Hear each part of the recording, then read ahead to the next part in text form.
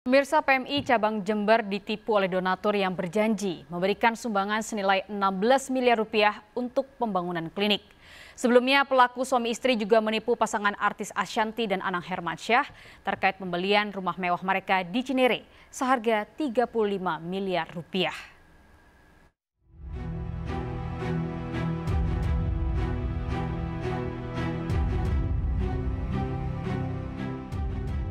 Wajah artis Ashanti terlihat berbinar ketika mengetahui rumah mewahnya di kawasan Cinere laku terjual dengan harga fantastis, 35 miliar rupiah.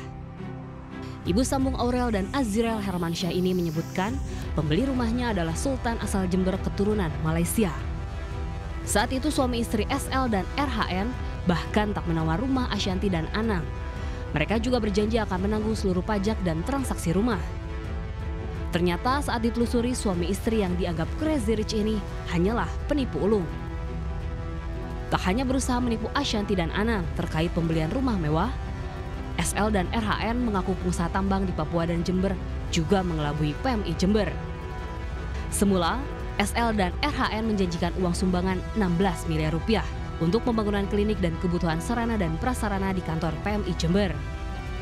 Dalam seremonial di Pendopo Kabupaten Jember disaksikan Ketua PMI Jawa Timur, Bupati Jember berikut Ketua PMI Jember, SL dan RHN juga menyerahkan papan simbolis sumbangan uang 200 miliar rupiah, serta lahan seluas 6.500 meter persegi untuk kantor PMI Jawa Timur. Akan tetapi semua sumbangan yang dijanjikan SL dan RHN yang akan diserahkan awal tahun 2020 ternyata hanyalah janji palsu.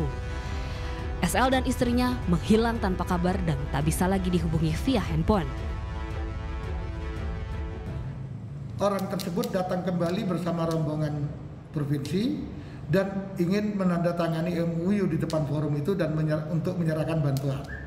Lalu kita laksanakan acara di tempat acara itu penandatanganan MUU yang telah dia siapkan dan menyerahkan bantuan yang masih bertulis di dalam gabus itu dan di dalam MUU diminta rekening PMI.